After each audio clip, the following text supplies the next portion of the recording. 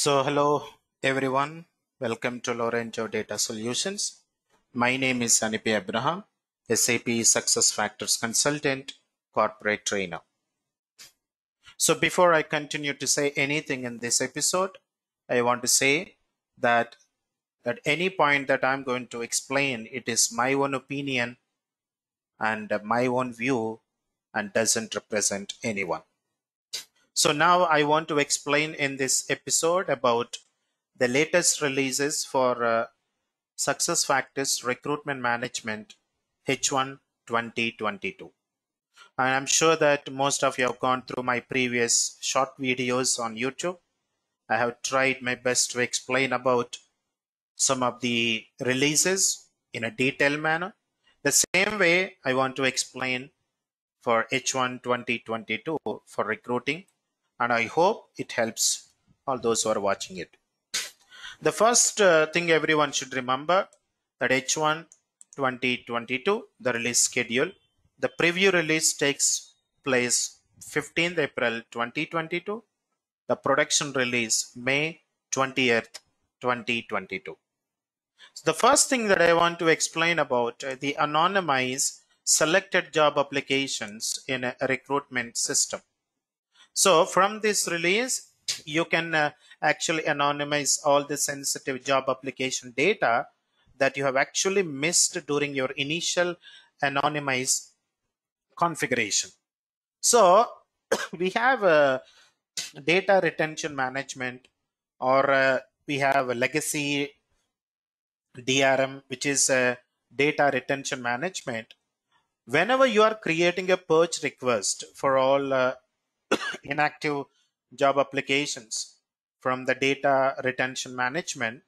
So now you have a one new option is available for all the job applications, which allows you to anonymize all the sensitive data which missed your during initial anonymization. So that now the new option is you can actually upload that uh, job application data in a .csv format. So why SAP has introduced because this feature enables you to create a purge request to anonymize job applications that we missed during your initial customization.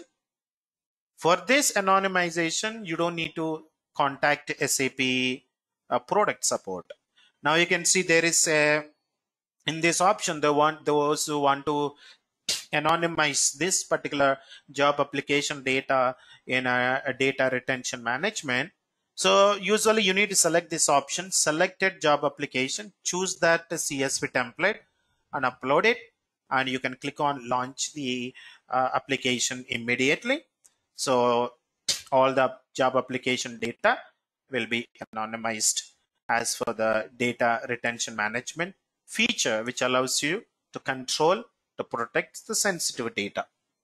And one more thing what I want to explain is uh, the second one, the migration of uh, job role tags, tags from uh, job uh, description manager to job profile builder, JF, JPB, we can say, and recruitment. So when you're using a job, uh, a job description manager, and uh, now you want to switch to job profile builder uh, to use your job profiles.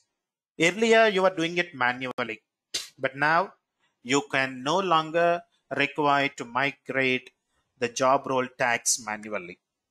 So when you switch to job profile manager, by enabling the use of the job profile in a requisition option in admin center, you need to go to the manage recruiting settings. And uh, when you go to the manage recruiting settings, you will have an option like uh, job description manager to job profile builder.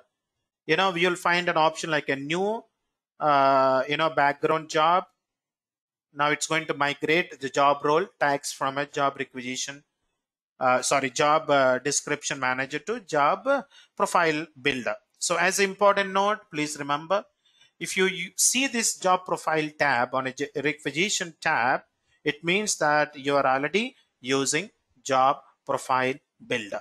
If in case, if you don't see the job profile tab on a job requisition page on a dashboard so still you are going to do manually so i sap recommends you to switch on to that so that this enhancement eliminates the need to perform manually it allows you automatically it is going to switch from a jdm to jpb and i hope you understood what i have explained.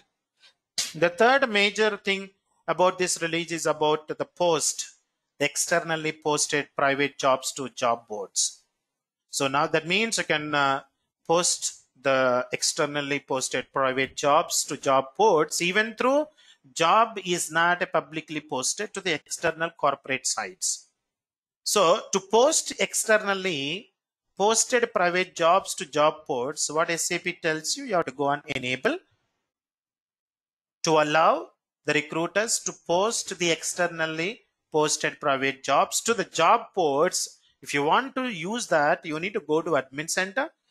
Then there is an option called manage recruiting posting settings page and go and enable it. So sap has in, in, introduced this enhancement because some countries regions as for the legality how to post jobs on a specific job boards for a particular time before posting them to the external career sites. Okay? Right. So another is uh, there is a one country uh, like uh, Lithuania, local support for uh, success factors. Uh, we can say the language local LT underscore LT supports. As an administrator, you can enable Lithuanian local. As for the system support, you can go to the system and you can enable multi-language pack support and even this is a code you can identify and uh, these are all about some of the major updates for uh, recruitment management H1 2022. So thank you for watching this video and I'm sure that it helped you with a better new enhancement features that I've tried to explain in a simple in a simplified manner. Thank you so much once again for watching. See you all again next time with a new topic.